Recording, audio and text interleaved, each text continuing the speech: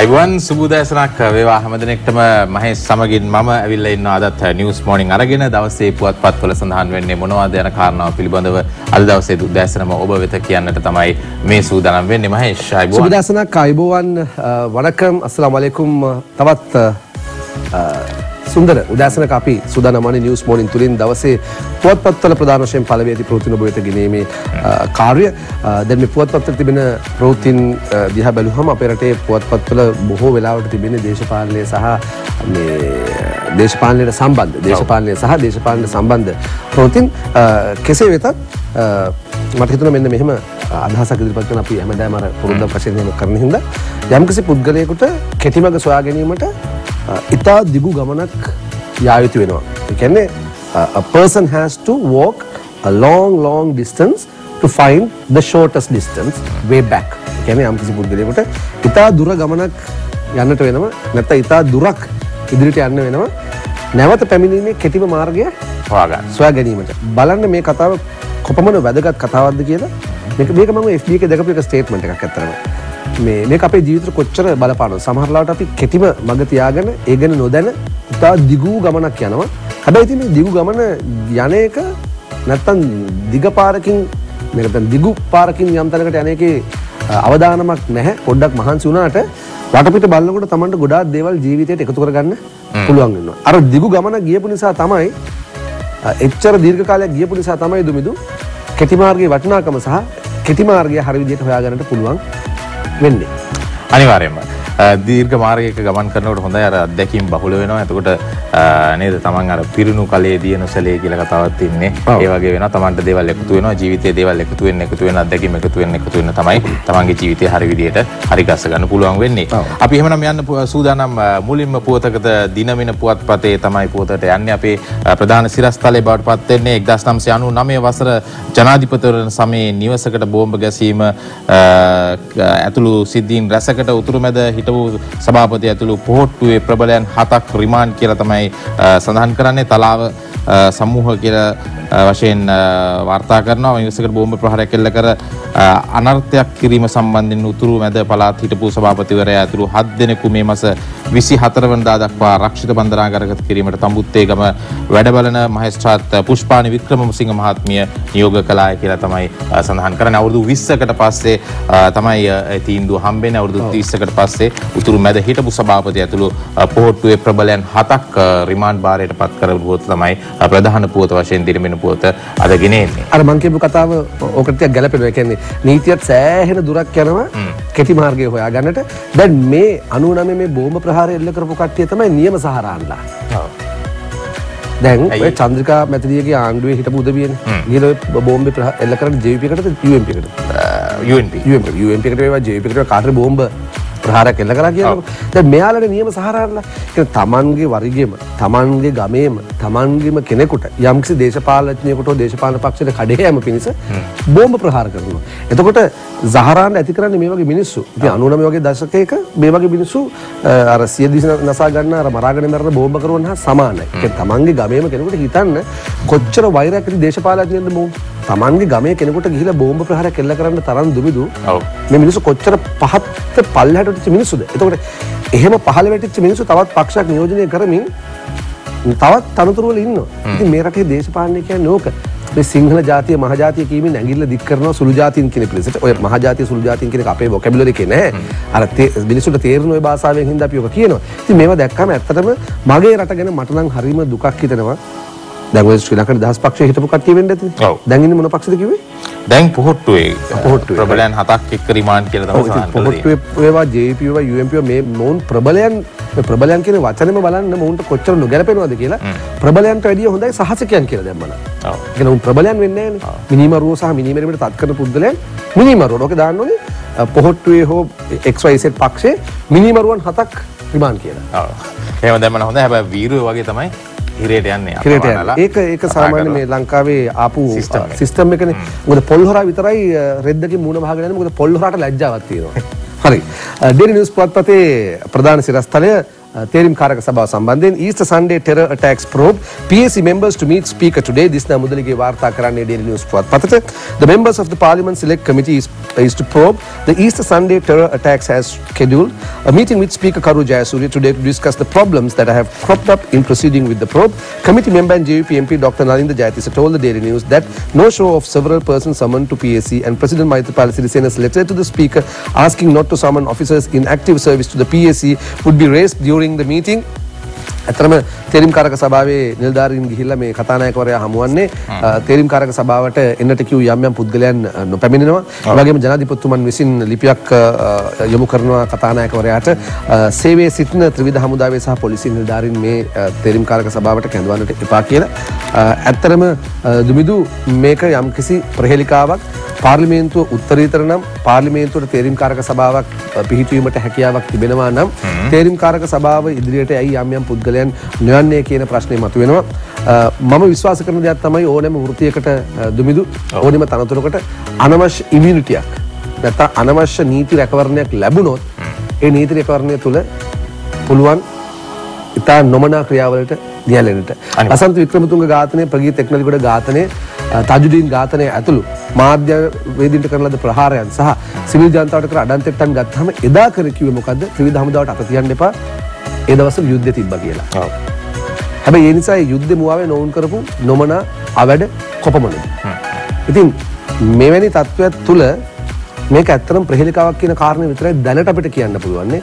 හැබැයි වාසනාවකට මේ රටේ මාධ්‍ය නිසා තිබෙන නිසා අපිට ඕන දෙයක් කියන්නට හැකියාවක් තිබෙන නිසා මෙහෙම ප්‍රකාශයක් හර කිරීමට හැකියාව ලබා දුන් මේ ආණ්ඩුවට ජනපති සාගමැතිතුමාට මම ස්තුතිවන්ත වෙනවා. වෙනවා. නැත්තම් මට වෙන්නේ අර දේ අර කට්ටියට උණු වැඩිම තමයි.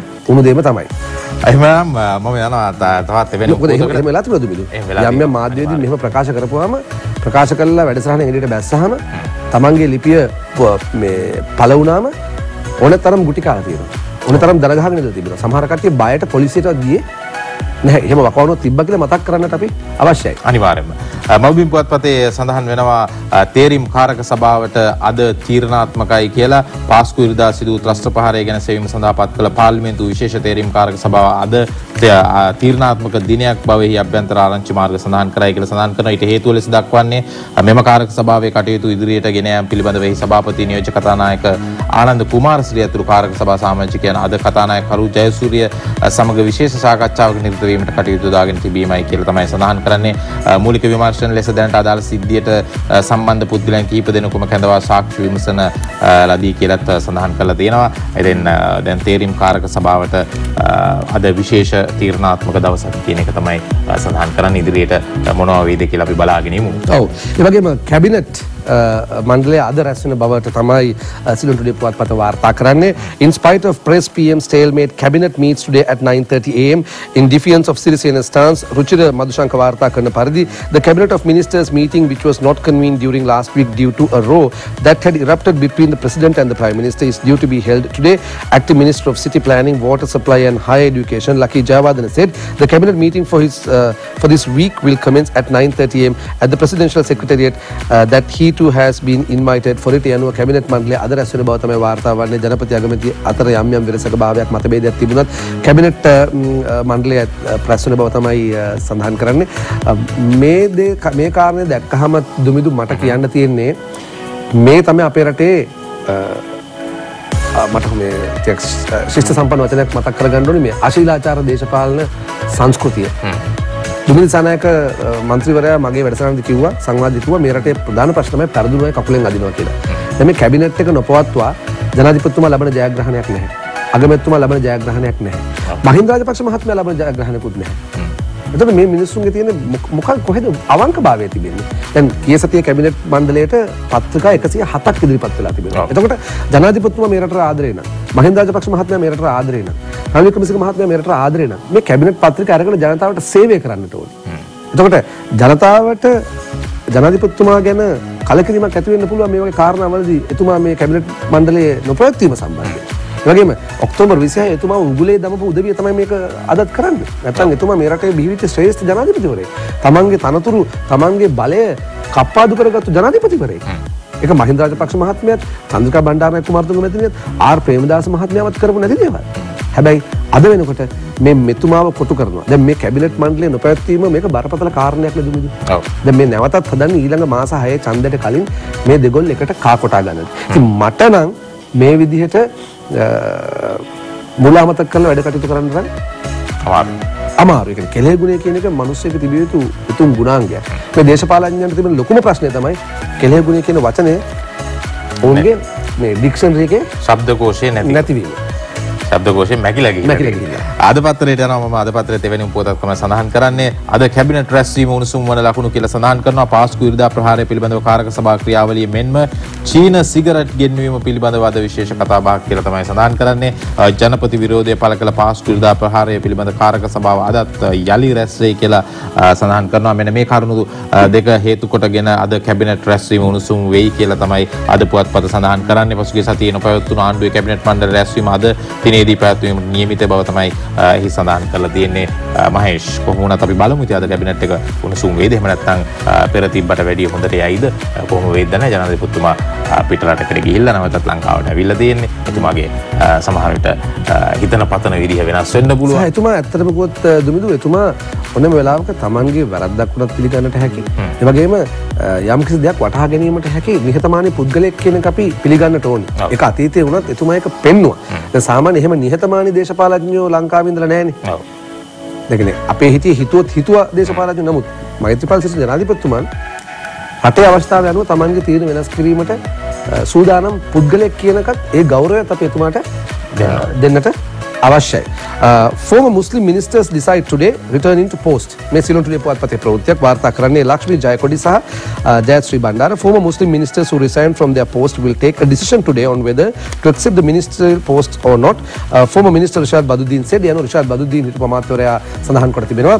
Uh, ඉදිරි uh, නැත්නම් අද දිනේදී නැවතත් ඔවුන් uh, uh මේ Tamanගේ හිටපු තනතුරු වල වැඩ බාර ගන්නවද නැද්ද කියන කාරණය පිළිබඳ තීරණයක් ගන්නවාය කියලා ඔවුන් ඉල්ලා අසුණා. ඔවුන් ඉල්ලා අසුණු විට බොහෝ අය පිළිබඳ ශෝකය පළ කරා. ඉල්ලා අසුනකන් ඉල්ලා අස් වෙන්න ඉල්ලා අස් වෙන්න කිව්වා. ඉන්පසු ශෝකය පළ කරනවා. ඉන්පසු නැවත පත්වීම ලබා ගන්න කියලා ඉල්ලීම් කරනවා.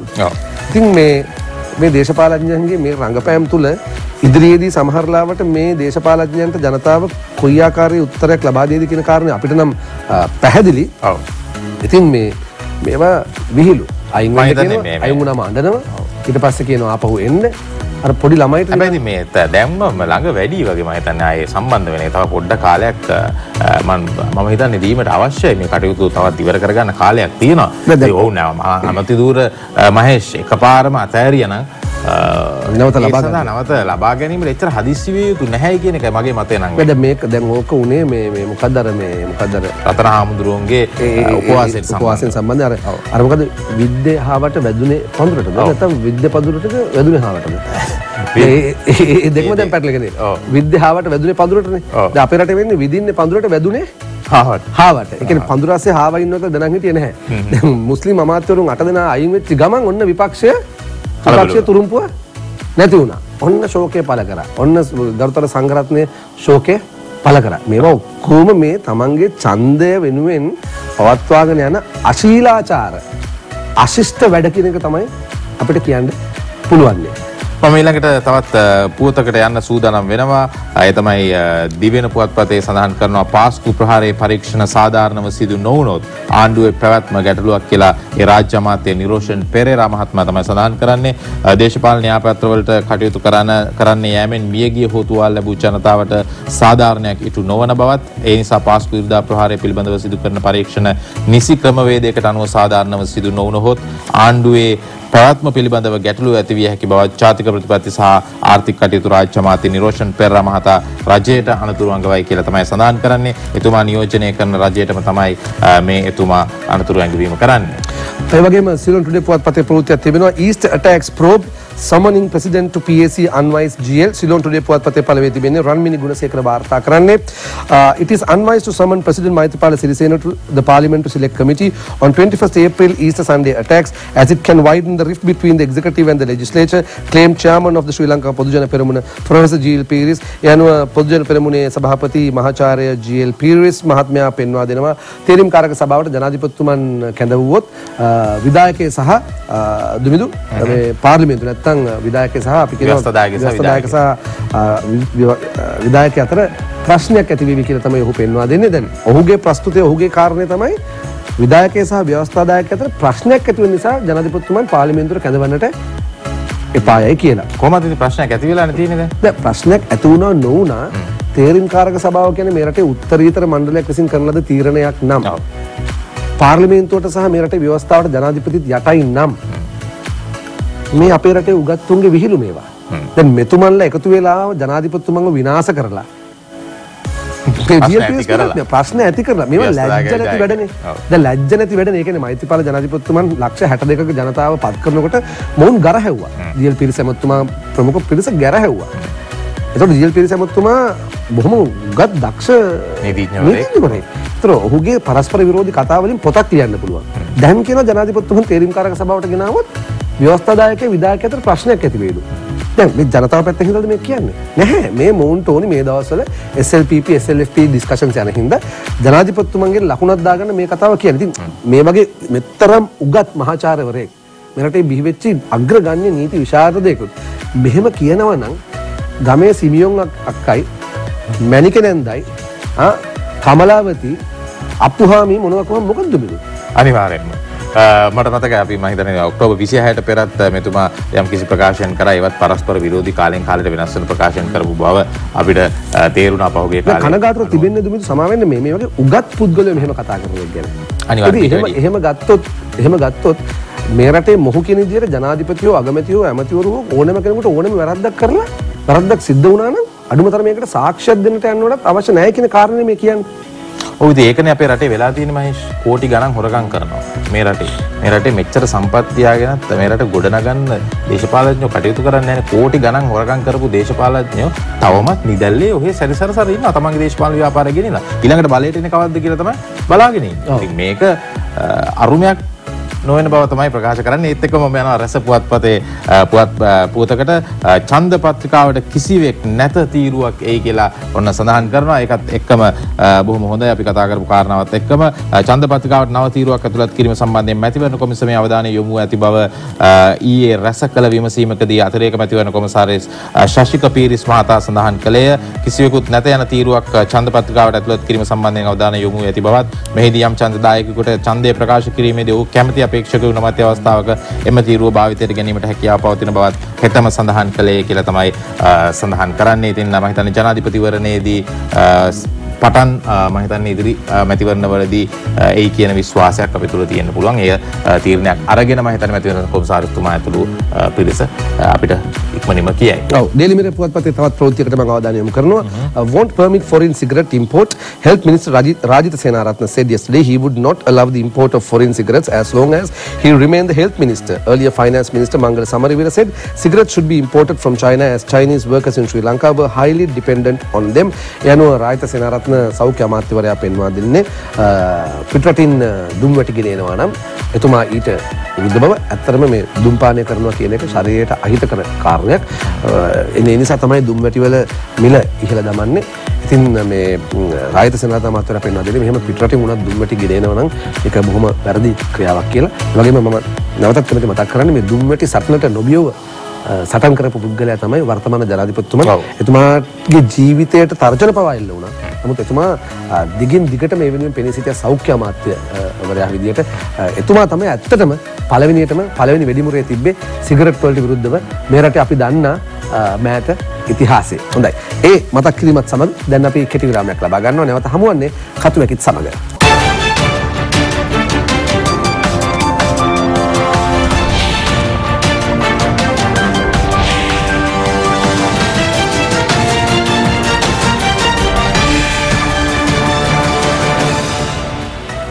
නිවස් මෝනින් සමඟ නැවත ඔබ සම්බන්ධ වන්නේ සජීවී වැඩසටහන්ල රසවත්ම තැන තමයි කෙටි විරාමය.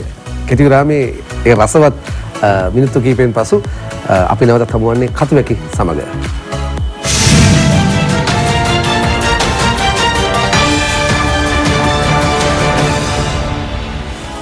විරාමයේ අපි නොයෙක් දේවල් කතා කරනවා. අපි එහෙමනම් යමු වෙනවා කතුවැකිය පළවෙනි කතුවැකිය දිනමින පුවත්පතේ කතුවැකියට නායකයන්ගේ හොඳ හිත කියලා තමයි සඳහන් කරන්නේ මාලදිවයිනේ රාජ්‍යයේ හිටපු ජනාධිපතිවරයෙකු සේම වත්මන් කතානායකවරයා දෙවන මොහොමඩ් නෂීඩ් මහතා ඇතුළු දූත පිරිස ශ්‍රී ලංකාවට පැමිණ අපට ලබා දුන් ධෛර්යයට කෘතඥතාව පළ කළ යුතුය. ඒ මහතා කියා සිටිය ශ්‍රී ලංකාව විශ්වාසයෙන් යුතුව සංචාරයේ යෙදීමට සුදුසු රාජ්‍යයක් බව ලෝකයට ඒත්තු ගැන්වීම ස්වකීය සංචාරය අරමුණ බවය. අගමැති රනිල් වික්‍රමසිංහ මහතා හමු වූ දූත පිරිසට ද්විපාර්ශ්වික සාකච්ඡා පවත්වා ඇත. එක අරමුණක් වන්නේ ශ්‍රී ලංකාවේ සල්මා- සංචාරක කර්මාන්තයට මාලදිවයිනේ සහයෝගය ලබා දීමය. අ, මේ ආදි වශයෙන් සඳහන් කරනවා අ, මේ නායකයන්ගේ හොඳ හිත කියලා කියන්නේ අ, ලංකාවට මේ වෙලාවේදී අ, ජාත්‍යන්තර නායකයන්ගේ විශේෂයෙන්ම ඇල්ම බැල්ම අ, ලැබිලා තියෙනවා විශේෂ සහයෝගයක් ඔවුන්ගෙන් ලැබෙනවා. මම හිතන්නේ ඇමරිකාවේ සිට අ, තවත් බොහෝ රටවල අ, විදේශීය දූත පිරිස් මේ වෙලාව වෙනකොට ලංකාවට පැමිණෙන්නට කටයුතු අ, සකසමින් සිටිනවා. ඉතින් ඔවුන් පැමිණෙන්නේ අ, අන් වෙන කිසිවක් නිසා නෙමෙයි මේ පාස්කු ප්‍රහාරයත් සමගම ලංකාවට සිදු වුණු සංචාරක කර්මාන්තයට සිදු වුණු හානිය නැවත පූර්ණය කර ගැනීම උදෙසා ඔවුන් පැමිණීමට පැමිණ සහයෝගය දැක්වීමට කටයුතු කරන්නට සූදානම්. මහේෂය පිළිබඳව තමයි මෙහිදී දිනමෙන පුවත්පතේ කතු ඇටිය සඳහන් කරන්නේ. දුමිදු ජාත්‍යන්තර ප්‍රජාව රටක් දිහා බලන්නේ එළියේ ඉඳන්. ඔව්. ඉතින් ඔවුන්ව රට තුළට ගෙන්වාගෙන රට පෙන්වීම තමයි කළ යුතු කාරණය. යහපාල රජයේ පැමිණියාම සංචාරකයන් වැඩිවීමට එක්තරා හේතුවක් තමයි මේ සංචාරක ප්‍රවාදන කටයුතුම නෙවෙයි. යහපාලන රජයේ යම් යම් ගෙනෙන ලද ප්‍රතිපත්ති. ඒ කොයි රජයේ හෝ විශේෂයෙන් අ, ජාත්‍යන්තර ප්‍රජාව බලන දෙයක් තමයි ප්‍රජාතන්ත්‍රවාදය සහ මානව හිමිකම් වලට ලබා දී තිබෙන අවස්ථාව මානව හිමිකම් වල තිබෙන අයිතිය කොහොමද ජනතාවට ලබා දෙන්න තියෙන කියලා. ඉතින් මේ ජාත්‍යන්තර ගෙන්වා ගැනීමට නම් අපි ජාත්‍යන්තරට පොඩ්ඩක් පොඩක් අපි ලස්සනට පෙනී ඉන්න ඕනේ. ටිකක් පොඩි. පොඩි අපි නිකන් අපේ ඉමේජ් එක හොඳ වෙන්න අපි සරල භාෂාවෙන් කිව්වොත්. ඉතින් ඉමේජ් එක හොඳ කරගෙන ලංකාවට ආවට පස්සේ ඉමේජ් එක නැති කරගන්න උඩ කරන්නත් එපා. හොඳ නෑ. ගෙන්වාගෙන හිත දිනාගෙන තමයි අපේ රට ගැන අ, කීර්තිය ලෝකයට ගෙන යන්නට අපි කටයුතු කරන්නට ඕනි. not a prudent move. daily news පුවත්පතේ අ, කතුවැකිය මේ අ, මං කියු කාරණට අදාළ කාරණයක් කියලා මට හිතෙනවා. ඔව්. The statement made by former Minister Rauf Hakim to an Indian newspaper that the Muslim community as a whole will henceforth not vote for any political party at elections, no doubt will be viewed with consternation by many, particularly those keen f- on foreign national unity through intercommunal uh, communal harmony.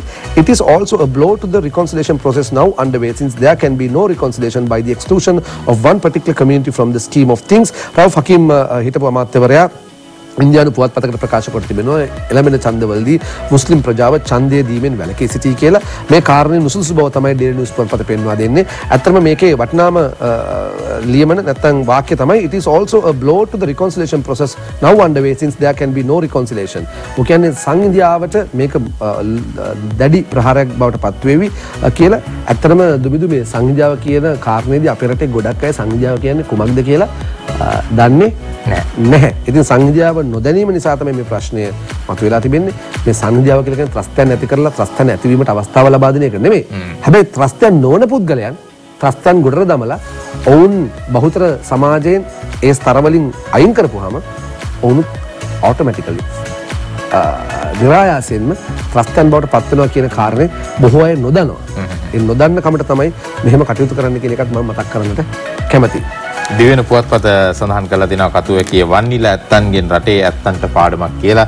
ඉතින් දිවෙන පුවත්පත නිතරම රටේ ඇත්තන්ට පාඩම් උගන්වනවා. ඒ නිසා ආදිවාසී නායක වන්නිල ඇත්තන්ගේ 72 වෙනි ජන්මදිනයට සමගාමීව දඹාන මාවරගල ආරණ්‍ය සේනාසනයේදී පින්කම් රැසක් සිදු කෙරිනි.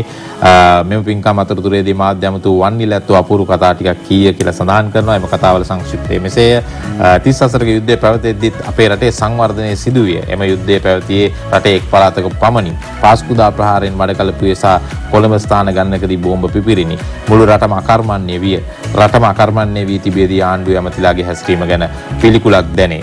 පාස්කු ප්‍රහාරයෙන් පසුව රටේ සියලු නායකයන් එක්ව වැඩ කළ යුතුව තිබුණි. නමුත් අපි දුටුවේ ඔවුන් කුලල් කා ගැනීම පමණි. මේ වන විට දේශපාලන නායකයන් සහභාගී වූ උත්සවවලදී ඔවුන්ට හූ කියති. මිනිසුන්ට ඇත අ, දේශපාලන නායකයන් පිළිකුල් වී ඇත කියලා සඳහන් කරලා තියෙනවා. ඉතින් මේ සඳහනත් එක්කම ඇත්තට මේ මේ මේ මේ උත්සව වලට හූ කියන්න දැන් වෙනම කණ්ඩායම් ඉන්නවා මහේෂ්. මං හිතන විදිහට එහෙම මේ අපේ රටේ මේ සාමාන්‍ය ඡන්දදායකයන්ට නම් එහෙම මේ පස්සෙන් ගිහිල්ලා මිනිස්සුන්ට හූ කියන්නවත් වෙන මේ විරෝධතාවයන් දක්වන්නවත් එහෙම ලොකු උමනාවක් මම නම් හිතන්නේ නෑ ඒක ඔබට ගෙදර ඉන්න ඔබත් මේ බලාගෙන ඉන්නවා නම් ඔබ ගිහිල්ලා කවුරුත් දේශපාලඥයෙක්ට හූ කියන්න උත්සාහ කරන්නේ. ඔබ ඒකට ඔබ දේශපාලඥයට කැමති නැත්නම් ඔබ උත්තරේ සපයන්නේ කතරේ. දවසේ ගහන කතිරේ.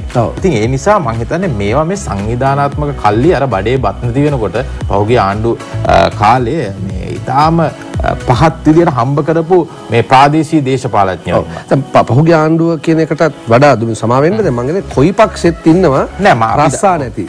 රස්සාවක් කරන දක්ෂකමක් නැති. දේශපාලඥයන් මත යැපෙන. උදවිය. ඉතින් මේ යැපෙන උදවිය තමයි මේ විදිහට හු කියන්නේ. අනිවාර්යෙන්ම මේ මහේෂ් ඒ ඒ උදවිය තමයි මේ විදිහට කටයුතු කරන්න. අපි මේ ඒත් එක්කම වෙලාව බලලා එමු. වෙලාව බලලා ඇවිල්ලා නැවතත් කතා කරමු. Daily FT කතුවකේත මට යනට අවසරයි retirement planning for all the finance ministry has unveiled plans to remove pension anomalies from 500,000 retired public servants from next month with 12 billion rupees earmarked for the change the government policy which early targets upcoming elections shows how difficult it is to link productivity to pension reforms government officials themselves estimate that paying salaries allowances and pensions of public employees will cost the government close to 1 trillion for 2019 alone this multiplied across decades is a serious cost to bear, especially given that Sri Lanka has a rapidly aging population. Public servants do not contribute a penny for their pensions, and this is one reason why public sector jobs are highly sought after, but it is also one of the reasons why the public sector is underproductive. මේ අ, විශ්‍රාම වැටුප් වැඩිවීම පිළිබඳව අද daily FT පුවත් පැතේ මතය කතුවකිය විශ්‍රාම වැටුප් අ, රුපියල් 2020 දක්වා වැඩි වෙනවා ජූලි මාසයේදී. බිලියන් 12ක මුදලක් රජය විසින් වැය කොට තිබෙනවා. මේ කතුවකේදී පෙන්වා දෙනවා වසරකට රාජ්‍ය රාජ්‍ය වියදම් වලින් ට්‍රිලියන එකක් වෙන් කරනවා රජයේ රාජ්‍ය රාජ්‍ය සේවකයන්ගේ වැටුප් සඳහා රාජ්‍ය සේවකයන් අවශ්‍ය රාජ්‍ය සේවකයන්ට වැටුප් ලබා දිය යුතුයි රාජ්‍ය සේවකයන්ට විශ්‍රාම වැටුප් ලබා දිය යුතුයි දුමිදු ප්‍රශ්නේ තිබෙන්නේ රාජ්‍ය සේවයේ සිටින කොපමණ ප්‍රමාණයක් සක්‍රියව දායක වෙනවද කියලා මොකද අපි දන්නා කාරණයක් දේශපාලන පක්ෂ වලින් පත්වීම ලබා දුන්නාම විශේෂයෙන් පහළ ස්තරවල රැකියාවලට ඔව්. ඔවුන්ගේ ජොබ් එක තමයි ප්‍රොටෙස්ට් කරන එක. ඔවුන්ව අරන් තිබෙන්නේ රස්සාවට උද්ඝෝෂණ කිරීමට රස්සාවට වෘත්තීය සමිති කරන්න. ඉතින් මේ කාරණය තමයි අපේ රටේ රාජ්‍ය සේවයේ තිබෙන ලොකුම ප්‍රශ්නේ. ඒ වගේම රාජ්‍ය සේවයේ ඉන්න එක්තරා පිරිසක් රජයේ වැඩ කටයුතු කඩාකප්පල් කරන කොටසක්. සහ ඉන්නවා ඉහළ ස්තරවල ඉන්නවා පෙන්ෂන් ගියායින් පස්සෙත් අනේ තානාපතිකමක් හරි උපදේශකමක් හරි ලැබෙන්න ඕනේ. මම මම දන්නේ එක් පුද්ගලෙක් ඉන්නවා. ඔහුට මේ රජේ ඉහළ තනතුරක් ලැබුණා. මේ ලැබිච්ච පුද්ගලයා පෙන්ෂන් යනකොට හිතුවා මොහුට තානාපතිකමක් හරි මොනවා හරි තනතුරක් ලැබෙයි කියලා. නම කියන්න බෑනේ. හරිනේ, ඔව්. ඉතින් ඒ පුද්ගලයාට මේක ලැබුණේ නැහැ. ඇත්තටම ලැබෙන්නේ නැති වෙන්න හේතුව එතුමාට මේ ඉංග්‍රීසි භාෂාවෙන් ටිකක් කතා කරන්න බෑ. ඉතින් තානාපති කෙනෙක් වෙලා ගිහිල්ලා මේ ගොළු භාෂාවෙන් කතා කරන්නේ. ඉතින් මෙන්න උරණ වුණා. දැන් දිගට හරහාට ආණ්ඩුවට. ප්‍රතිපහාර දෙනවා. හැබැයි ආණ්ඩුවෙන් Tamanට අවශ්‍ය සියලුම දේ කරගත්තු පුද්ගලෙක්. ඉතින් මේ රාජ්‍ය සේවයේ උතුම් පුද්ගලයන් ඉන්නකොට එවැනි පුද්ගලයන් ඉන්නවා කියන කාරණයත් මට මතක් කරන්න හිතුණා. මොකද රාජ්‍ය සේවකයන්ට පඩි ගෙවන්නේ මේ රටේ බදු ගෙවන්නන්. නිසා. අපි යනවා රස පුවත්පතේ අ, අ, කතුවගේට ජාතිවාදී නොවීම අකුසලයක්ද කියලා තමයි ස්ථාන් කරන්නේ අ, ප්‍රවීණ ලේඛක කුසල් පෙරේරාට එරෙහිව ආගම්වාදයේ අවස්සන බවට වූ පැමිණිල්ලක් මත 2007 අංක 57 දරන සිවිල් හා දේශපාලන අයිතීන් සම්බන්ධ ජාත්‍යන්තර සම්මුතිය පිළිබඳ පනත ප්‍රකාරව ක්‍රියාමාර්ග ගන්නට සූදානමක් පවතින බවට වාර්තා වෙමින් අ, පවතී අ, එහෙත් මේ වන විට එම තත්ත්වය වෙනස් වී ඇති බවත් ජනප- ජනපති මැදිහත් වී එය නිරාකරණය කොට ඇති බවත් කුසල් පෙරේරා ට්විටර් ප්‍රන්විඩියක් අ, මගින් දක්වා තිබේ කියලා සඳහන් කරනවා. ඒ එසේනම් සතුටට කරුණයි කියලා සඳහන් කරනවා. 2007 අංක 56 දන්න සිවිල් හා දේශපාලනික අයිතිවාසිකම් පිළිබඳ ජාත්‍යන්තර සමුතිය පිළිබඳව අ, ප- පළු- පිළිබඳ පනත මෑතක සිට පොලිසිය විසින් නැතම් පුද්ගලයන්ට එරෙහිව භාවිත කරන්නට පටන්ගෙන තිබෙන බව දක්නට ලැබේ. මීට මාසයකට කීපයකට පෙර ලේඛක ශක්තික සත් කුමාරරත්න ගොඩපත් වෙයි අ, කුසල් පෙරේරා ආරම්භයක් ක්‍රියාත්මක වන්නට ගියේ එහිම දිගුවක්ද කියලා තමයි සඳහන් කරලා තියෙන්නේ. ඉතින් අ, පොලිසිය එසේ කටයුතු කරනවා නම් අපිත් අ, ඒක ප්‍රතික්ෂේප කරනවා. මොකද කෙනෙකුට අ, භාෂණයේ අයිතිය තියෙනවා. කෙනෙකුට අදහස් ප්‍රකාශ කිරීමේ අයිතියක් තියෙනවා. ඉතින් ඒ මේ මූලික මිනිස් අයිතිවාසිකම් අ, උල්ලංඝනය කරනවා නම් එහෙම නැත්නම් පඩ කරනවා නම් ඒ වෙනුවෙන් මාධ්‍යවේදීන් විදිහට අ, අපිටත් මාධ්‍ය හරහා කතා කරන උදවිය විදිහට අපිටත් අ, ඒ ප්‍රතික්ෂේප කර හැකි කළ යුතු අ, වෙනවා කියන එකත් මතක් කරන්න ඕනේ. මම හිතන්නේ 2015ට පෙර තිබුණු යුගයේ වගේ නැවතත් අ, මේ යුගයේදීත් අ, අ, භාෂණ නිදහස යම්තාක් දුරට සීමා කිරීමට හෝ අඩාල කිරීමට යම්කිසි පාර්ශවයක් උත්සාහ දරනවා නම් එය මම හිතන්නේ හිතකර තත්ත්වයක් නොවන බව විශේෂයෙන්ම මතක් කරලා දෙන්න අවශ්‍යයි. ඔව් ඩේලි මිරර් පුවත්පතේ කතුවේ කිය procrastinating polls put country's future in uh, dilemma. Despite there being laws pertaining to various elections in the country, Sri Lankan politicians have always attempted to bypass those laws to push the former elections department or the current elections commission to hold the elections they prefer at a time more favorable to them. යනු daily Mirror පුවත්පතේ කතුවකින් අද කතා කරන්නේ අ, ඡන්දය කල් දෙමීම සම්බන්ධයෙන් අපි දන්නවා පළාත් සභා ඡන්දය කල්ට වෙලාවට තාම පවත්වාගෙන නැහැ. ඒ වගේම ජනාධිපතිවරණය කල්ට වෙලාවට පවත්වයිද කියන පා- කාරණය අ, ප්‍රශ්නයක් බවට පත් වී තිබෙනවා. අ, කතුවකේදී පෙන්වා දෙන්නේ අ, දේශපාලඥයන් Tamanට අවශ්‍ය වෙලාවට තමයි ඡන්දය පවත්වන්නේ. එය අ, කොතරම් බරපතල කාරණයක්ද කියන යන කියන්න යන පිළිබඳව තමයි ඩේලි මිරර් පුවත්පත අද තම කතුවකෙන් අ, කතා කරන්නේ.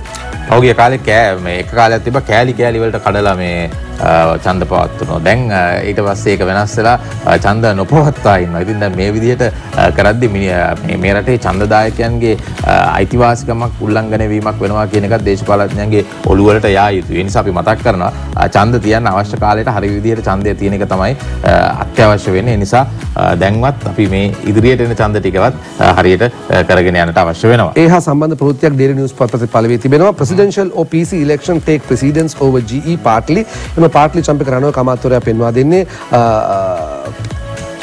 a provincial council or a presidential election should take precedence over a general election. එය අනුව මහමැතිවරණයට පෙර පළාත් සභා හෝ ජනාධිපතිවරණයක් අනිවාර්යයෙන්ම පැවැත්විය යුතු බව.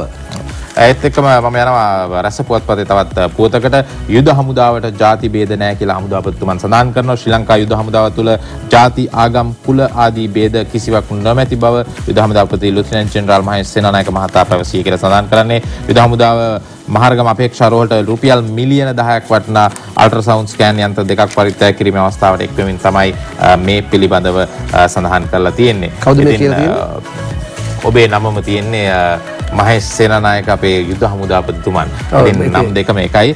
එතකොට හිතන පතන විදිහත් එකයි බද එතුමා? කිව්වේ ජාති භේද මොකද ජාති භේද යුද හමුදාවට ජාති වේද නැහැ. සයි එතකොට මට දැන් මේ මහේෂ් සේනානායකත් ජාති භේද කුලමල අ, භේද ගැන හිතන්නේ වගේ මේ මහේෂ් සේනානායකත් ජාති භේද කුලමල අ, ඒ ඒ දේවල් ගැන හිතන්නේ නැති පුද්ගලයෙක් එහෙමද? ඔව් ඒ හින්දා මහේෂ් සේනානායකව තව තව ඇති වුණොත් මේ රටට හොඳ මොකද ඔබ එහෙම විශ්වාස කරනවද ජාති භේද කුලමල නෑ. එහෙම විශ්වාස කරනවද නෑ මට එහෙම ප්‍රශ්නයක් නෑ. එහෙම ප්‍රශ්න නේද අපිටත් ඇත්තටම ප්‍රශ්නයක් නේද ඔය ಜಾති ભેද කුලමල වතගොත කියන දේවල් ඇත්තටම මේ අ, මොකද ඒක අපි අපිට කියනවා මේ වැදි යුගය කියලා කියනවා ඔව්. එහෙම ගල් වැදි යුගය. යුගයකුත්- වැදි යුගයකුත් මේ වැද්දන්ට වැද්ද වැද්දන්ටත් ඒක අපහාසයක් ගල් යුගයේවත් ඔහොම දේවල් තියෙන්න නැතු ඇති. එහින්ද ජාති බේද කුලමල බේද ගැන හිතනවනන් ඒක අවංක භාවයෙන් හිතලා ඒක අඩු කරගන්න කියනකම අපි කියන්නේ. නැත ඒක නැති කරගන්න කියලා තමයි අපිට කරන්න තිබෙන ඉල්ලීම. සිලොන් ටුඩේ පුවත්පතේ ප්‍රවෘත්තියකට මම අවධානය යොමු කරනවා. Gota special Gota's appeal against special high court rejection. SE has no jurisdiction to hear appeal AG. Kamal Mahendra Weeraratne වාර්තා කරන්නේ සිලොන් ටුඩේ පුවත්පතේ. ගෝඨාභය රාජපක්ෂ මහත්මයාට එරෙහිව අ, විශේෂ මහාධිකරණයේ නඩුවක් ගොනු වෙනවා. ඒ නඩුව ගොනු වෙන්නේ රජයේ මුදල් භාවිතා කරමින් සිය පියාණන් අ, සිහි කිරීම සඳහා ස්මාරකයක් නිර්මාණය කිරීම. මේ ස්මාරකය නිර්මාණය කිරීමේ චෝදනාවට රජයේ මුදල් අවභාවිතය චෝදනාවට එතුමාට එරෙහිව මහාධිකරණ නඩුවක් තිබෙනවා. ඔහුගේ නීතිඥවරුන් උපරිම අධිකරණයට ශ්‍රේෂ්ඨ අධිකරණයට අභියාචනයක් ඉදිරිපත් කරනවා මේ නඩුව මහාධිකරණය අසන්නට මහාධිකරණයට බලතල නැහැ කියලා. නීතිපතිවරයා ඊට ප්‍රතිඋත්තර ලබා දෙනවා මහාධිකරණයේ නඩුවක් මේ විදිහට අ, ශ්‍රේෂ්ඨ අධිකරණයේදී ඇසීමට ශ්‍රේෂ්ඨ අධිකරණයට බලතල නැතයි කියා. නම් කියන්නේ ඔය නඩුවක් තිබෙනවා නම් ඔය නඩුවට මුණ දීලා ඕක ඉවර කරගන්න තිබෙන්නේ. මොකද මෙතුමා ජනාධිපති අපේක්ෂක අපේක්ෂකයෙක් වීමට යන පුද්ගලයෙක්නේ. මේ ශ්‍රේෂ්ඨ අ, පුරවැසියෙක්නේ. ඉතින් මම හිතන්නේ ඔය නඩුවට මුණ දීලා ඕක ඉවර කරගන්න තියෙන දෙබිලි.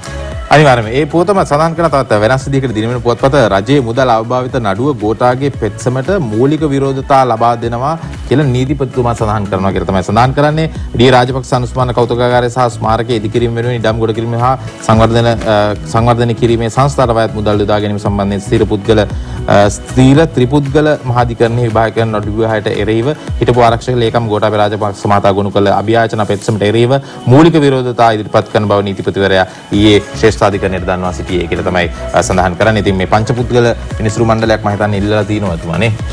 ඔව් දැන් එතකොට මේ අහන්න මේ නඩුව. මේ දැන් අ, මං හිතන්නේ දැන් එතුමා ඒවකට ඔය ස්මාරකයට මුදල් ලබා ගන්නකොට රජයේ මුදල් එතුමා හීනකින්වත් හිතන්නේ නැතුව ඇති මේක රජයේ මුදල් අවභාවිතයක් කියලා. ඔව්. මොකද එතුමා දැන දැන එහෙම කරන්න නැතුව ඇති. ඉතින් දන්නේ කවුරු හරි මේක- කිව්වවත් නැද්ද දන්නේ. නෑ එහෙම නෙවෙයි ඉතින් දැන් එහෙම හිතලා වැරද්දක් කරන්නේ නෑනේ. ඒක රජයේ මුදල් අරගෙන දැන් ඔබතුමා ඔබ ඔබගේ පියා සේවය. අපි තුමක ඔබගේ පියාව සිහිවීමට මේ ස්මාරකයක් හදනවා කියලා. ඉතින් ඔබතුමා ඒ වෙලාවේ පිය සෙනෙහසින්ද මේක කරන්නේ. ඒතර ඔබතුමාට අමතක වෙන්න පුළුවන් මේ රජයේ මුදල් අරන් නේද දෙයියනේ මම මේක කරන්න කියලා. ඉතින් ඒක සාමාන්‍ය මනුස්ස ගතියක්. ඉතින් වැරදි කිරීම මොකද්ද? මනුස්ස ගතියක් සමාවදීම දේව ගතියක්. ඉතින් රටේම මිනිස්සුන්ට දෙවිවරු වෙන්න පුළුවන් නම් මේ මේ රටේ මුදල් හොරකම් කරපු හැමෝටම සමාව දෙන්න පුළුවන්. සමාව දෙන්න පුළුවන්ද එහෙම නැත්නම් මිනිස්සු වෙන්න වෙන්න පුළුවන් පුළුවන්. ඉතින්, අ, මොකද සාමාන්‍ය උසාවි වල අන්තිමේදී ඇහෙන්නේ එහෙමනේ. ඔව්. මම දන්නේ නැහැ. මට මතක නැහැ.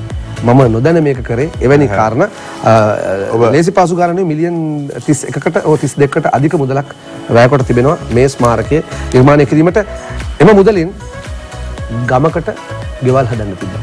අනිවාර්යයෙන් ඒ ගමට නම දාන්න තිබ්බා තම පියාගේ නම.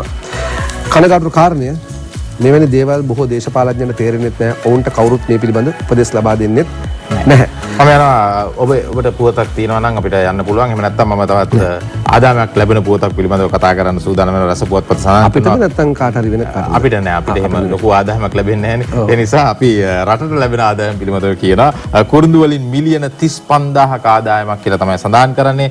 ආසේල කුරුළු වංශ 2018 වසර තුල කුරුඳු මෙට්‍රික් ටන් 17500ක් අපනයනය කරමින් රුපියල් මිලියන 35000ක වාර්තාගත විදේශ විනිමයක් මෙරට ලබා ගැනීමට හැකි වී ඇත. අතර 2018 වසර තුල අපනයනය කළ කුරුඳු ප්‍රමාණය මෙරට ඉතිහාසය තුලදී වසරකදී අපනයනය කළ වැඩිම කුරුඳු ප්‍රමාණය බව අපනයන කෘෂිකර්ම අධ්‍යක්ෂ ජෙනරාල් ආචාර්ය ඒ.පී. හීන්කෙන්ද මහතා පැවසී කියලා තමයි සඳහන් කරන්නේ. මම හිතන්නේ හොඳ ප්‍රවණතාවයක් මේ වෙලාවේ මේ කුරුඳු වලට ලොකු මිලක් ලැබෙනවා. ඒ වගේම හොඳ වෙළඳපළක් ලංකාවේ කුරුඳු වලට ලැබිලා තියෙන බව තමයි මේන් සඳහන් වෙන්නේ. ඉස්සරහට කුරුඳු පොළු වලටත් මේ ඩිමාන්ඩ් එකක් ඉදන ඡන්දය හරිය මේ ළඟ එන හින්දා. ඒක තමයි නේද? අපි බලමු කුරුඳු පොළු වලටත් ඒ විදිහටම ඩිමාන්ඩ් එකක් කියලා. එයිද කියලා. හොඳයි. එහෙමනම් අපි දැන් සූදානම් වන්නේ අපේ කතාවට. ආ ස්ටෝරි එකට යමු වන්නට.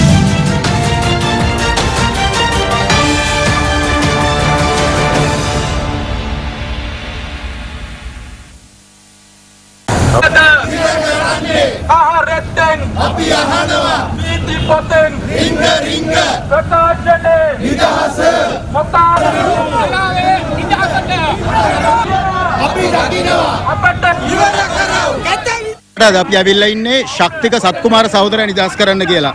ශක්තික සත්කුමාර සහෝදරයව අසාධාරණ විදියට හිරගත කරලා තියෙන්නේ කෙටි කතාවක් ලිව්වා කියලා. ශක්තික සත්කුමාර සහෝදරයා වෙන වැරදක් කරලා නැහැ. ශක්තික සත්කුමාර සහෝදරයා සුදු වෑන් වලින් මිනිස්සුන් උස්සලා ආ මෝරුන්ට කණ්ඩ දාලා හෙලිකොප්ටර් වලින් ගිහලා මූදර දාලා නැහැ. බැඳුම් කර වංචාවට සම්බන්ධ නැහැ. අධිවේගී මාර්ග වලින් ටෙන්ඩර් වලින් ගසා කාලා නැහැ. ශක්තික සත්කුමාර සහෝදරයා කරලා තියෙන එකම වරද තමයි මේ කියන විදියට කෙටි කතාවක් ලියන එක. ඒ කෙටි කතාවට පාදක කරගෙන තියෙනවා පැරණි සාහිත්‍යයේ ආගමික සාහිත්‍යයේ යම්කිසි ප්‍රවාදයක් ප්‍රතිනිර්මාණය කිරීම. ඒකද වරද? එහෙම කෙටි කතාවක් ලියලා මිනිහෙක්ව හිරේ දානවා නම් අසාධාරණ විදියට ඒකට අපි සහ මුලින්ම විරුද්ධයි. ඒක ප්‍රකාශනයේ නිදහසට සහ මුලින්ම විරුද්ධයි. මේ මහත්තයා අත්අඩංගුවට ගන්න දවස් 78ක් ගෙවිලා තියෙනවා. කෙටි කතාවක් ලිව්වා කියලා අසාධාරණ විදිහට තමයි මහත්තයා හිර කරගෙන ඉන්නේ. ඒ ළමයි දෙන්නයි මායි ලොකු මානසික පීඩාවක් ලක් කරලා යනවා. විශේෂයෙන් පුතා මේ වෙලාවේ මානසිකව ගොඩක් වෙట్లా ඉන්නවා. ඒ නිසා මම ඉල්ලා හිටින්නේ මහත්තයාට මේ හිර කරගෙන ඉන්නේ මේ මහත්තයාට අප දෙන්න. දැන් මේ මේක සාධාරණ ඉල්ලීමක්. දැන් මේක මේ මේ සමහර කටට පුළුවන් මේක දැන් ආණ්ඩුව පටලලා මේකට අ, මේ මේ දැඩි ආණ්ඩු විරෝධී ප්‍රචාරයක් ගෙරෙන්නට දැන් ශක්තික සත්කුමාර කරේ කෙටි කතාවක් කියපු එක. ඒ කෙටි කතාවේ තිබ්බ යම් කොටසකට විරුද්ධව භික්ෂුවක් පොලිසියට ගිහිල්ලා පැමිණිල්ලක් දානවා. ඉන්පසු ඔහු සිර බාරයට අරගෙන ඔහුට අප නොදී ඔහුව අ, හිරේ තියාගන්නවා. දැන් මේ වැරද්ද කරපු කට්ටියගේ හෘද සාක්ෂිය දන්නවා ඇති. Taman මේ වැරද්ද කරේ කුමක් අරබයාද කියලා. අවම වශයෙන් ඔහුට අප දීලා. ඊට පස්සේ නඩු අහන එක වෙනම කතන්දරයක්. නීතියට බලපෑම් කිරීමක් නෙවෙයි මෙතන අපි කරන්නේ නැත්නම් සිද්ධ කරන්නේ. නීතිය ඉදිරියටත් වැරදි නඩු ගෙනෙන එකත් වැරද්දක් නේ. මොකද විනිශ්චයකාර තුමන්ලාට හැකියාවක් නැහැ මේ විනිසුරු පුටුවෙන් බිමට බහැලා ගිහිල්ලා මේ පරීක්ෂණ කටයුතු කරනවා. ඒතර මේ පරීක්ෂණ කටයුතු කරන උදවිය තමයි දුමිදු වැරදි තොරතුරු ලබා දෙන්නේ. ලංකාවේ පොලිස් දෙපාර්තමේන්තුවේ තිබෙන නරකම දෙයක් තමයි යම්කිසි කෙනෙක් පැමිණිල්ලක් කරපුවාම ඒ පැමිණිල්ල දේශපාලන බලයකින් එනවනම් බලවතෙක්ගෙන් එනවනම් පැමිණිල්ල ගැන සොයන්න බලන්නේ නැහැ. අර චූදිතය කියන පුද්ගලයා නැත්නම් චෝදනාව එල්ලවන පුද්ගලයාව හිර බාරයට ගන්නවා. ඔහුට විරුද්ධව පුළුවන් තරම් නඩු දමනවා. ඉතින් අපි හිතනවා මේ ශක්තික අ, ට අ, සාධාරණයක් ලැබෙවි අවම වශයෙන් ප්‍රථම අධියරේදී ඔහුට අප ලබා දීමක්වත් වෙයි කියලා. මොකද මේවා දැක්කම දුමිදු අපිටත් බය හිතෙනවා මේ භාෂණයේ අයිතිය පාවිච්චි කරන්නට. මොකද අපිවත් කුදලගෙන ගිහිල්ලා එහෙම දායිද කියලා හිතනවා. වෙනකොට නේද? ඔව් හරි. දැන් අපි අවස්ටෝරියෙන් පසු යනවා තවත් ප්‍රෝතියකට සිඩෝන් ටුඩේ පුවත්පතේ උදේ ගමන්පිල මන්ත්‍රීතුමන් කියනවා ගෝටාබේ මහත්මයාට ඊළඟ ඡන්දයට ඉදිරිපත් විය හැකි කියලා presidential election Gota can contest Gamampila Pivitru Helaurumiya leader and parliamentarian Uday Gamampila yesterday claimed that former defence secretary Gotabe Rajapaksa could come forward for the next presidential election without a problem responding to a question from media as to whether there were obstacles for Rajapaksa to contest he claimed that he pursued uh, the documents perused the documents pertaining to Rajapaksa renouncing his American citizenship and that he has no issues in with this යනුව ගමන්පිල මන්ත්‍රතුමා කියන්නේ ගෝටාබේ රාජපක්ෂ මහත්මයාට එළඹෙන ඡන්දයට ඉදිරිපත් වීමට අ, කිසිම විදියකින් බාධාවක් නැතයි කියලා. කියලා. එමනම් අපි යනවා ඒත් එක්කම ජනතා විමුක්ති පෙරමුණ කියනවා. මවබිම් පුවත්පතෙන් තමයි සඳහන් කරන්නේ මේ පුවත. ජවිපෙන් ජනපතිවරණයට එන්නේ දේශපාලන මණ්ඩල සමාජිකයෙක් කියලා තමයි සඳහන් කරන්නේ. අපිට අඩු වෙලා තිබ්බේ JVP ගෙන් තමයි දෙන්නේ තුන් දෙනෙක් ඉන්නවාද කියලා. නමුත් දැන් JVP ගෙන් කියනවා ඉදිරි ජනාධිපතිවරණයට ජවිපෙන් ඉදිරිපත් වන අපේක්ෂකයා අනිවාර්යයෙන්ම පක්ෂයේ දේශපාලන මණ්ඩලයේ සමාජිකයෙකු බව එම පක්ෂයේ දේශපාලන මණ්ඩල සභික කේ.ඩී ලාල්කාන්ත මහතා ප්‍රකාශ කරනවා කියලා තමයි සඳහන් කරන්නේ. ඉතින් එතුමන්ලාගේ පක්ෂයේ දේශපාලන මණ්ඩලයේ සමාජිකයෙක් තමයි ජනාධිපතිවරණයට ඉදිරිපත්. යනකොට මේ පොදු අපේක්ෂක කොපමණ ප්‍රමාණයක් වැඩි වේවිද දන්නේ ඔව්. දැන් මේ මටත් මගේ මිතුරන් ප්‍රමාණයක් ඉල්ලීමක් කරා? මම ඇහුවා වැටුප කීයද කියලා රුපියල් ලක්ෂයක්වත් වැටුප හම්බෙන්නේ නැහැ මේ රටේ ජනාධිපති වුණා. ඉතින් වැඩක් නැහැ නේද මිතු? එහෙනම් ඇයි මේ මෙච්චර මේ පොර කන්නේ මේකද? මොකද තමයි අපි අහන්නුනේ ප්‍රශ්නේ. മന്ത്രിවරයෙක් වැටපු රුපියල් 60000යි තමන්ගේ සියලු සේසති වියදම් කළ മന്ത്രിවරයෙක් වෙනවා. ඇමතිවරයෙක් වැටපු රුපියල් 80000යි කියන්නකො. සියල්ල වියදම් කරලා മന്ത്രിවරයෙක් වෙනවා. දුමිදු මේ රටේ රාය සේනායකලා බණ්ඩාරනායකලා වගේ උදවිය ජයවර්ධන වගේ උදවිය බිහි වෙන්නේ. ඔවුන් තමන්ගේ දේපල තමන්ගේ ධනය මෙරට මිනිසුන්ට දීපු උදවිය ඉදිරි අනාගතයේදී අපි අපේ එකේ අයිතිනික අපි පොඩි වැඩසටහනක් ඉදිරිපත් කරනවා මේ රටේ ඇත්ත සද්භාවයෙන් දේශපාලනය කරපු දේශපාලඥයන් පිළිබඳ ජනතාව දැනුවත් කරන්නට තමන්ගේ ධනය වත්කම ජනතාවට ප්‍රදානය කරපු දේශපාලඥයන් පිළිබඳව කතා කරන්නට අපි සූදානම් වෙනවා කියන කාරණය මතක් කරමින් ඒ- කාලේ එහෙම වෙනකොට මේ කාලේ මිනිසුන්ගේ දේවල් දේශපාලඥයෝ ගන්නවා. ඔව්. හරිද? ඒකයි වෙනස තියෙන්නේ. අපි තවත් පුවතකට යනවා මේ පින්තූරයකට යන්න සූදානම් වෙනවා. මේ පින්තූරේ අලි කියලා තමයි සඳහන් කරන්නේ රස පුවත්පතේ. අලියෙකුට හාද්දක් දෙනවා මේ කවුද මේ සජිත් ප්‍රේමදාස මහත්මයා. එතුමා අලින්ට අ, විශේෂයෙන්ම කැමති. අ, යාල එහෙම සංචාරය අලි වැඩිපුර. ප්‍රේමය. අලි ප්‍රේමයක් ඇත් ඇත් ප්‍රේමයක් තමයි ඇත්තටම එතුමාට මුල් අවදියේදී තිබුණේ. එතුමා තරුණ අවදියේදී ඇතින්යක්ද? මේ. අලි- අලියෙක් ඉන්නේ. හොඳයි. හැබැයි ඇඟ පේන්නේ. ඒ නිසා මේ මට හරියට කියන්න බෑ මේ මහේෂ්. කෙසේ වෙතත් එතුමාගේ ඒ අලි ප්‍රේමය පිළිබඳව තමයි අද රස පුවත්පත අරගෙන එන්නේ. බොහොම සුන්දර ඡායාරූපයක් තමයි ඡායාරූපය. ඉතින් එයත් මතක් කරනවා මං හිතන්නේ ලස්සනට තිබ්බ නිසා අපි ගත්තා ඒ පුවත. ඔව් නාම රාජපක්ෂ අපේ හිතවත් මන්ත්‍රතුමන් කියන මෙන්න මෙහෙම කතාවක්. Extremists have invaded parliament. නාම රාජපක්ෂ මන්ත්‍රීවරයා පෙන්වා දෙන්නේ මෙත්වලි දිසානායක ලියන්නේ සිරුන්ටුලේ පුවත්පතට අ, පාර්ලිමේන්තුවට අ, පාර්ලිමේන්තුවට අන්තවාදීන් පාර්ලිමේන්තුව අ- අන්ත- අන්තවාදීන්ගේ ග්‍රහණයට හසු වෙලා තිබෙනවා කියලා තමයි නාම රාජපක්ෂ මහත්මයා පෙන්වා දෙන්නේ. ඇත්තම නාම රාජපක්ෂ අ, තරුණ මන්ත්‍රීවරයෙක්. ඔහු ඇත්තටම මේ අන්තවාදයට ජාතිවාදයට අ, එතරම් කැමැත්තක් දක්වන්නේ නැති පුද්ගලයෙක්. විශේෂයෙන් ක්‍රීඩකෙක් විදිහට අපිට මතකයි ඔහු ක්‍රීඩා කරන කාලේ අ, සියල්ල සමග බොහොම අ, කුළුපඟව යාළු මිත්‍රාදිකම් තියාගෙන තමයි වැඩ කටයුතු කරේ.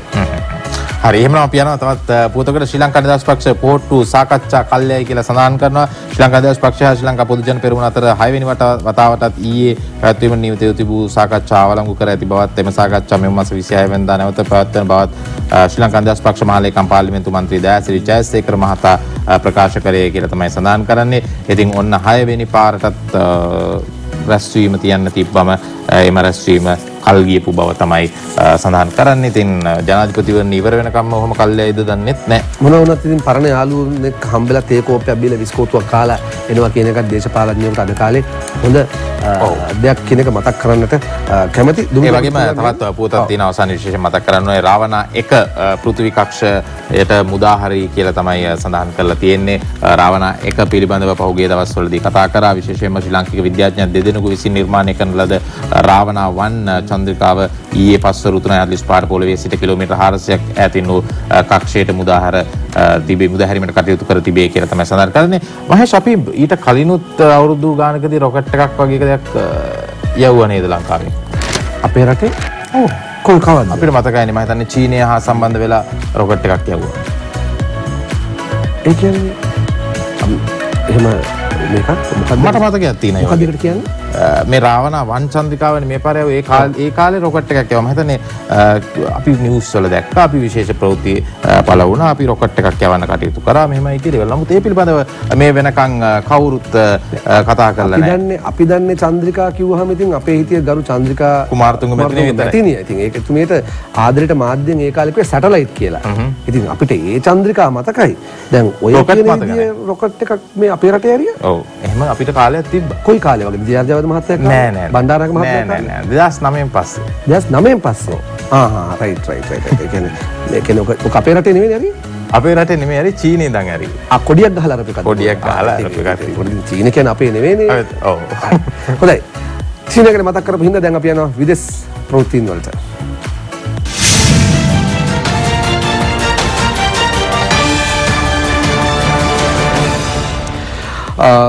සිලොන් ටුඩේ පුවත්පතින් අපි මේ ප්‍රවෘත්තිය තෝරාගන්නේ Moscow Russia Kremlin says Putin Trump could meet briefly at G20. Uh, the Kremlin said uh, uh, Monday that, that Russian President Vladimir Putin and US counterpart Donald Trump could meet briefly at the G20 in Japan next week. යනුව uh, G20 සමුළුවේදී Vladimir Putin සහ uh, රුසියානු ජනාධිපති සහ ඇමරිකානු ජනාධිපති Donald ට්‍රම්ප්ට හමුවීමේ අවස්ථාවක් තිබෙනවා කියලා අපි බලමු uh, මේ ලෝක බලවතුන් දෙදෙනා හමු වෙලා කුමක්ද කතා කරන්නේ කියලා ඔවුන් අතර යම් සීතල යුද්ධයක් තිබෙනවා මේ සීතල යුද්ධය ලෝකයට බලපාන යුද්ධයක් කියන එකත් අපි මතක් කරන්නට කැමතියි එමනම් අපි ඒ පොතත් එක්කම යන්න සූදානම් වෙනවා අ, ක්‍රීඩා ප්‍රවෘත්තීන් වෙත. අපි එහෙමනම් අ, යොමු වන්නට සූදානම් වෙන්නේ අ, ක්‍රීඩා ප්‍රවෘත්තීන් වෙත.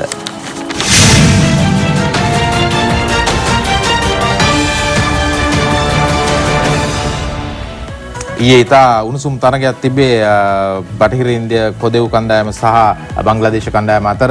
අ, සකීබ් හා ලිටන් ලිටන් කොදෙව්වන් අසරණ කරති කියලා තමයි සඳහන් කරන්නේ අද පුවත්පත. ඉතාම තිවුණු තරගයක් තිබ්බ මං හිතන්නේ අ, ශකීබ් අල්හසම් අල්හසන් විශේෂ ඉනිමක් ක්‍රීඩා කරනවා. ඔහු අ, අ, ලකුණු එකසිය විසි හතරක් ලබා ගන්නවා. ලින්ටන් දස් අ, ලකුණු අනු හතරක් ලබා ගන්න යනුව ශ්‍රී ලංකාව අභිබවා බංග්ලාදේශය අ, අ, පස්වනි ස්ථානයට අ, එනවා අ, ප්‍රසාද ලකුණු සටහනේ. ඔව්. ලංකාවේ ක්‍රිකට් වලට එහෙම වුණත් බංග්ලාදේශ ක්‍රිකට් වලට එහෙම වෙන්නේ නැහැ. ඔය බංග්ලාදේශ ක්‍රිකට් කණ්ඩායම ගත්තොත් ඇත්තටම බංග්ලාදේශ ක්‍රීඩකයන් බොහෝ ප්‍රමාණයක් IPL එකට යන්නේ නැහැ දුමිදු. ඔය IPL එක මම නම් ඒකට කැම්පේන් කරනවා දුමිදු. පුද්ගලිකව මම හිතනවා අපේ ක්‍රීඩකයන් IPL එකට යොමු වුණා වැඩි. IPL එකට යන විදිහේ යම්කිසි විනෝදභාවයක් තිබ්බනම් අපේ ක්‍රීඩකයන් මෙහෙම වෙන්නේ නැහැ කියන කාරණය මම මතක් කරන්නට කැමති. කතරම් අමිහිරු වුණත් ඇත්ත එයයි. මුදලට අද ක්‍රිකට් හසු වෙලා තිබෙන කියන කාරණය අපි කියන්න කැමති. අපේ ක්‍රීඩකයන් එහෙම නැහැ කියලා අපි විශ්වාස කරනවා තවම. හැබැයි අපේ ක්‍රීඩකයන් මීට වැඩිය Tamanගේ රට වෙනුවෙන් සාධාරණයක් කරන්න ඕනි කියන කාරණයත් මතක් කරන්නට කැමති. 8th World Kung Fu Championship Sri Lankan show their mettle. Pathum bags two gold medals යනුවෙන් සිලොන් ටුඩේ පුවත්පතේ ප්‍රවෘත්තියක් පළ වී තිබෙනවා. Uh, මුස්තාක් සයිඩින් වාර්තා කරන්නේ සිලොන් ටුඩේ පුවත්පතට යනුව අ, අටවෙනි අ, ලෝක කුම්ෆු චූරතාවලියේදී අ, පැතුම් පූර්ණ අ, විසින් අ, රන් පදකමක් අ, දිනා ගන්නවා.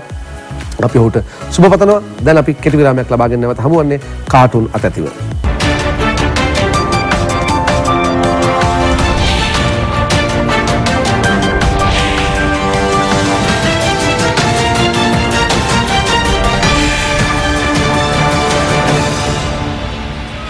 අද පුවත්පතේ ජනරාණි කාටුනෙන් අපි ආරම්භ කරමු කාටුන් ආණ්ඩුව වැඩ කරන්නේ ලිච්ඡවී රජදරුවන්ගේ උපදෙස් අනුව බලන්න කවුද මේ ප්‍රකාශය කරන්න කියලා මේ අගමැතිතුමාද සෑර් මම දන්නේ නැති නිසා අහන්නේ ඔය ට්‍රම්ප් එහෙමත් ලිච්ඡවී රජ පරපුරේද කියලා අහනවා. කියලා අහනවා ජනරාණි අපි එමනම් යොමුවන්නට සූදානම් අද පුවත්පතේ කාටුනේට ඔන්න දෙදෙනෙක් ඉන්නවා කෙනෙක් කියනවා කිසිම හෝඩුවාවක් නැහැ නේද කියලා. මේ දෙන නිකන් පරේක්ෂණ කණ්ඩායමක දෙන්නෙක් වගේ තමයි පේන්නේ. පොඩ්ඩක් ඉවසන්න වොට්සන් ඡන්දෙත් එක්ක ඔක්කොම ඇටකටු මතු වෙනවා කියලා තමයි සඳහන් කරන්නේ. ඉතින් නේද ඡන්දේ කාලෙට වල දාපු මිනිස්සුන්ව තිබ්බ ඇටකටු ඔක්කොම ගොඩ එනවා. ඊට පස්සේ ඝාතන සිදුවීම් සිදුවීම් සියල්ල එළියට එනවා. ගොඩ එනවා. අන්තිමට මිනිමරු නිදැල්ලේ ඒ මිනිස්සුන්ගේ පවුල් හසරන වෙලා. ඔව්. එහෙමනම් ඊළඟ කාටුනේ දෙවෙනි කාටුනය සමයන් සුමතිපාල ජෝතිපාල කතාබහක එජාප නායකයෝ රටේ ජනතාවට ආදරේ නැතුළු සුමතිපාල හෝ ජෝතිපාල කියනවා ඊට පිළිතුරු ලැබෙනවා ජනතාවගේ ඡන්දවලට බං ආදරේ UMP JVP SLPP SLFP ඔය ඕනෑම කියන කෙනෙක් ඕනෑම කෙනෙක් ජනතාවට වඩා ආදරේ. ජනතාවගේ ඡන්දවලට කියන කාරණේ මේ කාටුනෙන් අපිට මතක් කරලා දෙනවා. දිනවෙන පුවත්පතේ කාටුනේට තමයි ඔවන්ට සූදානම් වෙන්නේ. ඡන්ද පෙට්ටි තුනක් තියෙනවා. ජනාධිපතිවරණය පළාත් සභා මැතිවරණය ඊළඟට ටිකක් එහැයින් තියෙනවා. ජනමත විමසුම කියලත් ඡන්ද පෙට්ටියක්. දැන් මේ මම හිතන්නේ මහින්ද දේශප්‍රිය මහත්මයා වෙන්න ඕනේ. ප්‍රශ්නාර්ථ ලකුණක් එක්ක පළාත් සභා මැතිවරණයේ උඩ ඉඳගෙන අතක් තියාගෙන ඉන්නවා ජනාධිපති මැතිවරණයට.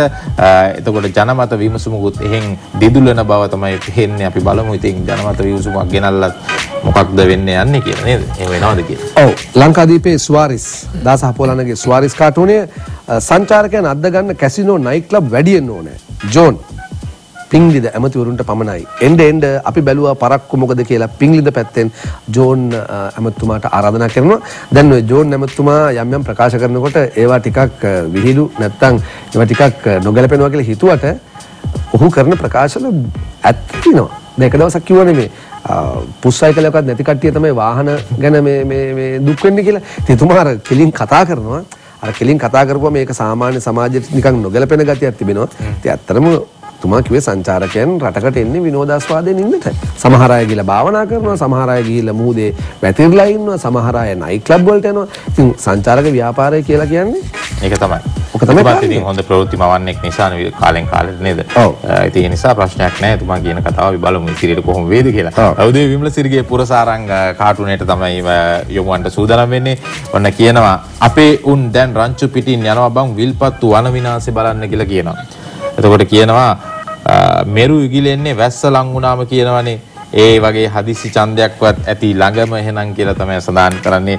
මන්ත්‍රීතුමා කියනවා මෙරු ඉගිලෙන්නේ වැස්ස ලං වුණාමනේ ඒක තමයි අ, මේ යන්නේ ඡන්දයක් ළඟ ළඟම එනවා ඇති කියලා තමයි සඳහන් කරන්නේ.